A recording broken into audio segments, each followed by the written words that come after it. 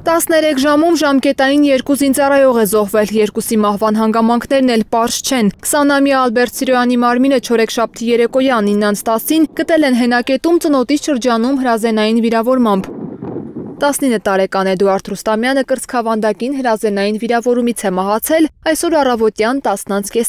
Մեկը հենակետում է, սա զորամասում։ Երկրի հարավարևելյան սահմանի հենակետերից մեկում գտել էին մահացած առաջին ժամկետայինի Ալբերտի մարմինը։ Ըստ իրավապահների նա մահացել է իրեն ամրակցված ակա 74 զենքի կրակոցից։ Քրեական գործ է հարուցվել զինծառայողին անզգուշությամբ ինքնասպանության դրթելու հոդվածով։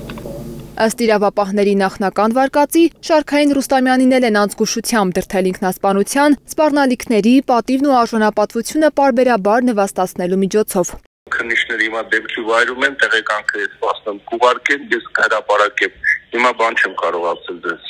Կներեք, իսկ որ ասացիք դեպքի վայրում զորամասում են։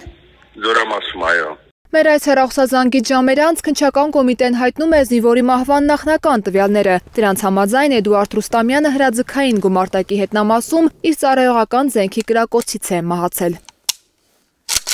Պաշտպանության նախարարությունը առաջին զոհի մասին հայտնել էր զինծառայողի մահվանից ավելի քան 10 ժամ անց։ Դրանից առաջ կար ոչ պաշտոնական տեղեկություն, որ Կապանի շիկահող գյուղի դիրքերից մեկում ծառայակիցների միջև վեճ է եղել։ 168-ը գրել էր, որ զինծառայողներից մեկը ծանր վիրավորում է հասցրել մյուսին, հետո ինքնասպան եղել։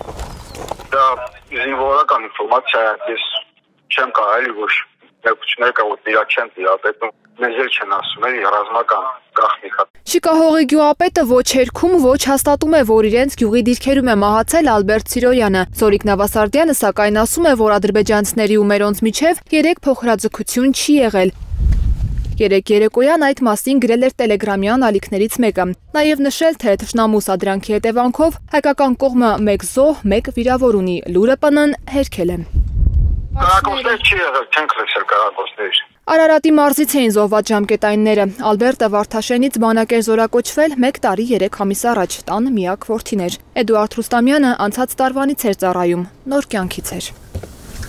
Աննա Հովանիսյան, Վաչե Թոփուզյան, Հայլուր։